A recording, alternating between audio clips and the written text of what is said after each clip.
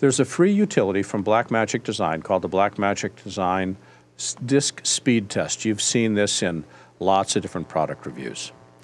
I want to measure the speed of a single hard drive, which I have here. I've got a, a single hard drive attached via Thunderbolt.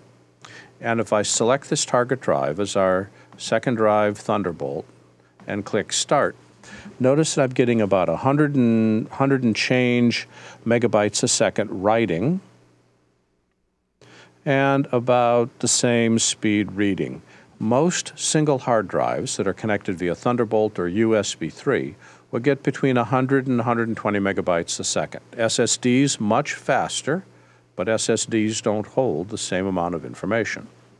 Now let's switch over to the RAID. Change our target drive to the RAID, click Choose, and test it. Whoa, a lot faster, six times faster.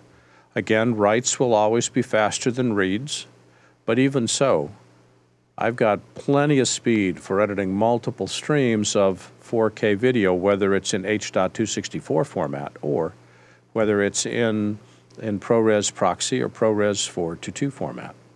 Now, just to illustrate the benefit of an SSD, let's click Stop, and this time I'm going to set it to the SSD drive, which is inside my laptop, and now test it.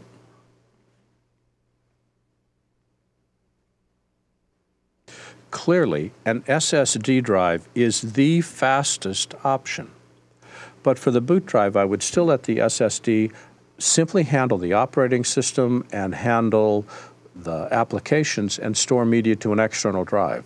If you need the absolute fastest in performance, an SSD drive connected via Thunderbolt 2 will generate about 1,300 megabytes a second. USB maxes out around 460 megabytes a second. So an SSD attached via Thunderbolt 2 will be even faster than the internal drive.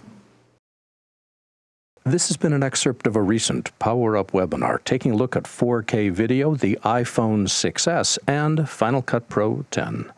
For the complete version of this webinar, please visit my store at larryjordan.com slash store and look for Webinar 182. If you need to stretch your training dollars, a subscription membership to our video training library saves you money. You can access all our videos for a low monthly price of only $19.99. That's more than 1,200 movies, hundreds of hours of training, all in depth and all up to date. Plus, members can attend any of our Power Up webinars for free. Our training covers Apple and Adobe software. We update it every week, and for more information, visit larryjordan.com slash subscriptions. And thanks.